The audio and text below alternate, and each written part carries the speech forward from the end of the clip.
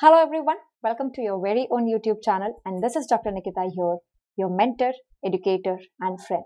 So the most common query that I receive from the students is I take a lot of time to learn a particular topic and even after learning that topic, I'm not able to remember it for long.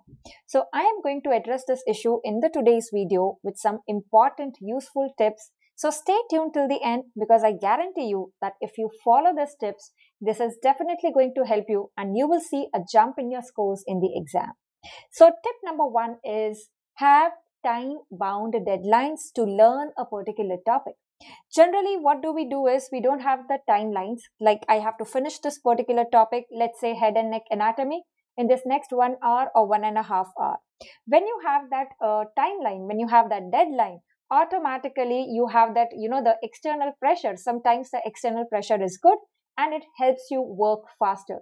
So have those time bound deadlines and at the same time when you are having those deadlines focus on that particular topic itself or that particular subject itself so what do we generally do is when we are reading anatomy then we'll get care physiology baki hai then it's biochemistry baki hai so during that time as i call it time boxing focus on that particular task only, which is in your hand and nothing else. So that's the tip number one. Second, tip number two, as you are reading, highlight the important points. Not everything is important, whatever you are reading, right?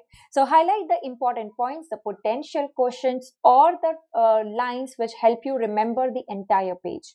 Once you have highlighted that, then make the notes. One sticky note, one page, one sticky note is what should be your target so that your entire page is summarized in that one sticky note on that page. So next time when you come back to that book, it is only the sticky note that you would be revising and nothing else.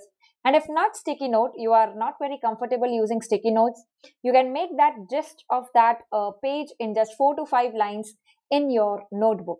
Make the use of flowcharts, make the use of mind maps. They help you remember a lot of stuff in a limited space, a limited page. That's tip number two.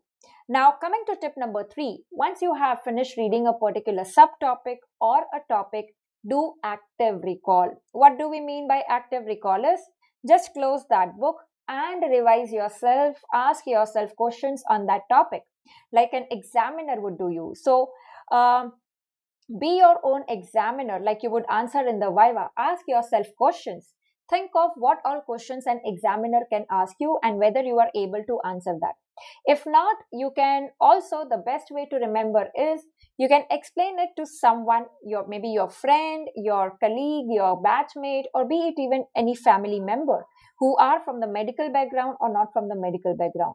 When you try to explain them whatever you have learned, you will realize the areas where you know you'll be uh, uh, you'll be uh, struggling to remember that topic, right?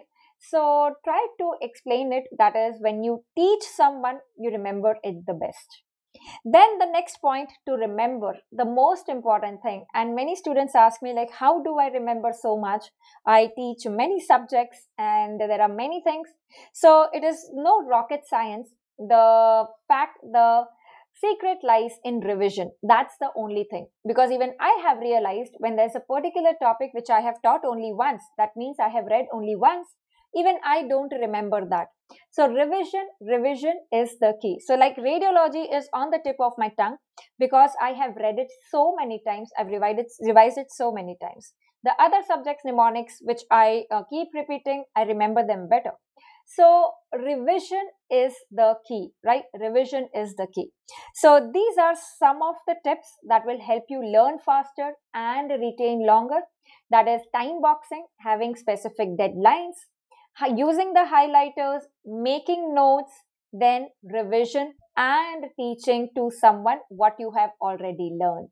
So I hope these tips you help you in your studies and do let me know in the comments how much have they helped you and also let me know if there are any other tips that you use personally and you think would be helpful to others here. So thank you so much for watching and please do subscribe to my channel and give a thumbs up to this video. That's for today. See you in the next one soon. Thank you.